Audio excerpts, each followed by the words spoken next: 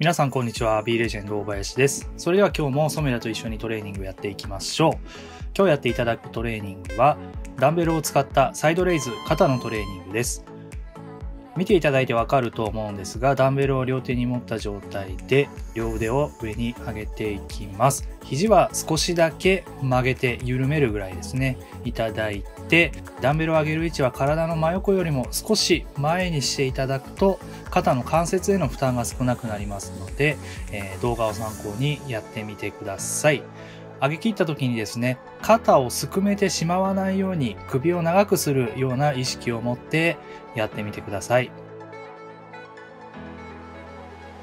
染田は動画でダンベルを持ってやっていますけどもダンベルがなければトレーニングチューブですとかそういった器具もなければペットボトルにお水を入れていただくそれで、えダンベルの代わりにしていただくというのでも構いません。それでは2セット目やっていきましょう。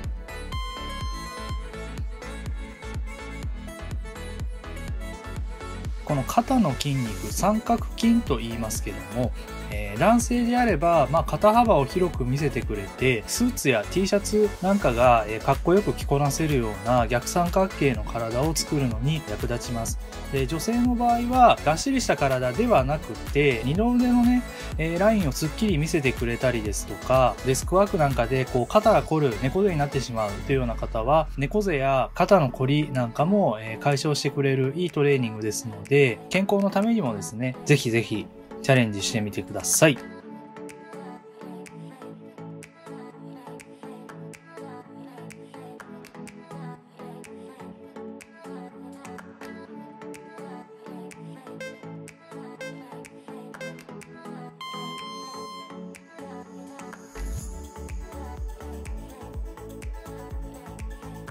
ソメダはまあ20回3セットやってますけども、ちょっとね、負荷が強すぎてしんどいなという時は10回ですとか15回ですとか、休憩時間も長めにとってみたりですね、調整しながらやってみてください。